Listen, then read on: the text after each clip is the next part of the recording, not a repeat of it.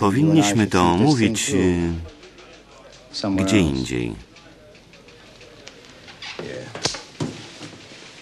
Dobry pomysł.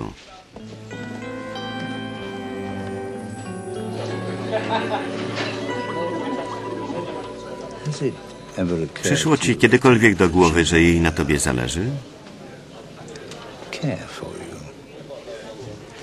Jesteśmy partnerami, troszczymy się o siebie. Nie słuchasz. Ja mówię o prawdziwej trosce. Ja naprawdę się o nią troszczę. Nie, ja myślę o trosce. O takiej trosce? Nieważne jak to ujmiesz. Troszczy się o mnie w ten sposób? Może?